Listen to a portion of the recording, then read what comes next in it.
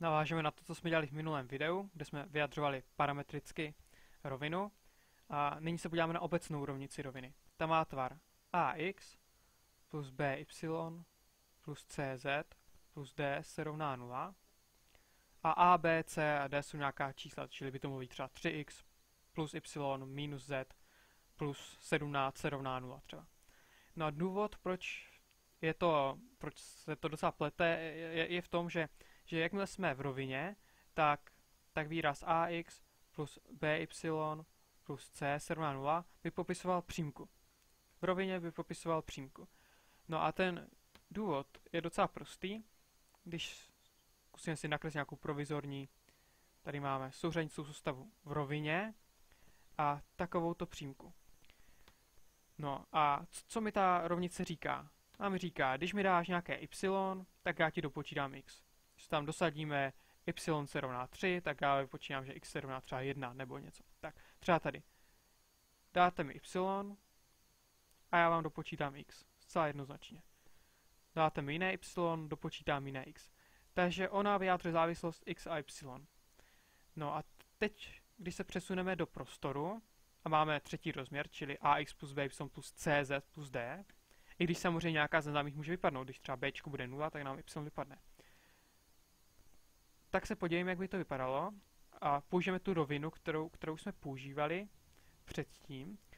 Když mi dáte třeba x, uh, xy mi dáte, tak já vám dopočítám z vždycky. Tady bude možná lépe vidět. Když mi dáte xz, třeba takto, dáte mi x a z, tak já vám vždycky dopočítám y. Když třeba x dáme 0 a z 0, dostaneme se semka. A já vypočtu, že v této rovině leží bod se souřenicemi x0, z0 a y, y třeba 5. Takže 0, 5, 0 potom. No, ale kdybychom měli přímku, nějakou přímku, tak, to, tak už ten bod dopočítat nemusím. Máme třeba takovouto přímku, tak takovouto přímku ne, nevyjádříme obecnou rovnicí, v, uh, pokud se pojíme v prostoru, protože já, když já vám dám x, z, 0, 0, tak najednou tady žádný bod té přímky nemám.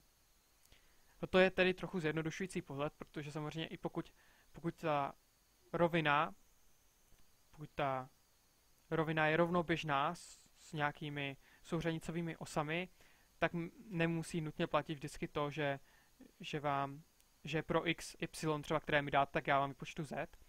Ale, ale můžete si opravdu představit, ta základní intuice je, prostě v tom, je, je v tom, že ta závislost v rovině je vždycky jednu neznámou můžeme vyjádřit pomocí zbylých dvou a když ty dvě tam dosadíme, tak získáme x, pokud tedy, pokud tedy existuje.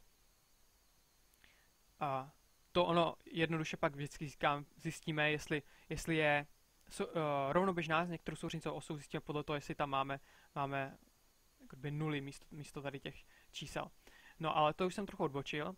My chceme vypočítat pro náš zadaný příklad, kde máme tady ty tři body, tak vypočítat obecnou rovnici, obecnou rovnici uh, oné roviny a co je důležité, důležité proto vědět, je to, že když se jsme tady ty body ABC, ABC z obecné, z obecné rovnice roviny, tak se jedná o normálový vektor. A normálový vektor je prostě vektor, který je k rovině kolmý. A tady bys to kreslil dost špatně, ale no, to by asi, asi, asi by to nebylo vidět, že zakreslím nějaký takovýhle vektor, tak on není poznat, že je nutně kolmý. A, ale můžeme to tam nějak schematicky zakreslit, tady máme pravý úhel. Tak. Takže to by pak byl normálový vektor. Ano, že jedno, jestli jsme takovýto vektor nebo nějaký kratší, podstatné, aby, aby byl kolmý. No. Tak. Takže ho zkusme vypočítat. My už totiž jsme zjistili dva, dva vektory, které leží v té rovině, takže normálový vektor získáme jako jejich násobek. Normálový vektor získáme jako násobek dvou vektorů, které leží v oné rovině. A to proto, protože víme, že normálový vektor je k těm dvou, k těm dvou vektorům, ze kterého získáme tedy ten vektorový součin, když máme vektorový součin, tak ty dva vektor, tak výsledný vektor bude kolmý na UV. Máme vektor.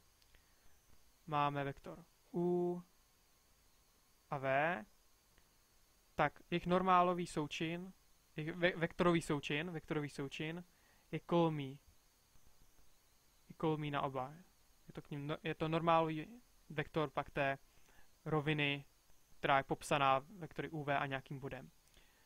A jo, důležité je si uvědomit, že ten bod, že normál vektor nebude záviset ještě na konkrétním bodu.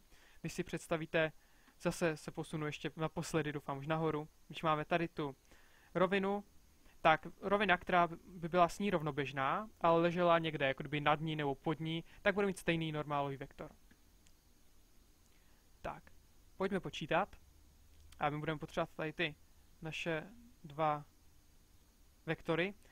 Tak, uh, chceme zjistit normálový uh, vektorový součin, vektorový součin uh, a máme 1, 1, 6, 1, 1, 6 je první vektor a druhý vektor má hodnoty méně 1, 3, 6. Méně 1, 3, 6.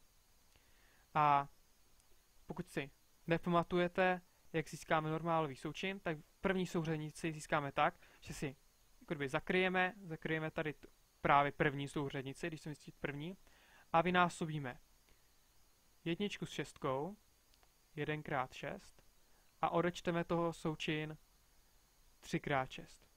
Tady 3x6. To znamená, vezmeme vždycky dvě souřadnice, které, le, které leží na hlavní diagonále toho zbytku, ty, ty vynásobíme a odečteme od toho ty druhé dvě souřadnice, které, které leží na, na vedlejší diagonále. 1 krát 6 je 6, méně 3 krát, to má být zase 6. A tak získáme první souřadnici. To máme kolik? 6, 6, méně, méně, 12, méně 18, je méně 12. A teď se podíváme na, na další. A už jsem tady tak počmrkal, že to nebude tolik vidět. Ale docela, do, docela dobré je, je přepsat si ještě jako tu poslední, ještě jednou, jedna a méně šest, jedna a méně jedna, protože teď budeme, teď budeme zakrývat druhou souřadnici, tady tuto, jedna a tři zakryjeme, a chceme vynásobit 6 krát méně jedna je méně 6, méně 6, a méně 6 krát 1, méně 6, což je zase méně 12. No a třetí souřadnici, když zakryjeme šestky, tak nám zbyde tady tato část. 1 krát 3 je 3. Méně, méně 1 krát 1 je méně, méně 1, což je 4. To by byl náš normálový součin. Eh, náš normálový vektor. Normálový vektor, tedy vektorový součin. Vím, že to pořád pletu, omlouvám se. Takže můžeme ho zjednodušit ještě, když, když uh, vydělíme, vydělíme všechny souřice méně čtverkou. Že 12, méně 12 lomeno méně 4 je 3, zase 3 a 4 lomeno méně 4 je méně 1. Takže tady máme náš normálový vektor 3, 3 méně 1. A my už víme tedy, že rovnice, rovnice bude vypadat 3x plus 3y méně z, teď plus nějaké d, se rovná 0 a ještě nevíme to d. Takže tam dosadíme, dosadíme tam jeden z bodů, o kterém víme, že, že v rovině leží a tím nám vypadnou y, z, vypočítáme d. Já si žádný nepamatuju, ale máme tady je napsané, takže třeba tady. Víme, že c má souhrnice méně 1, 2, 0. Méně 1, 2, 0. Takže dosadíme x, když bude méně 1, máme 3 krát méně 1, y bylo 2, 3 krát 2 a z bylo 0, takže méně 0. A plus d se rovná 0. Takže máme 3 krát méně 1 je méně 3, plus 3 krát 2 je 6, méně 0 je nic a plus d se rovná 0. Takže méně 3 plus 6 je 3, převedeme na druhou stranu a dostáváme, že d se rovná méně 3. No a teď už jsme schopni napsat výslednou rovnici s tím d, které prostě nahradíme méně trojkou.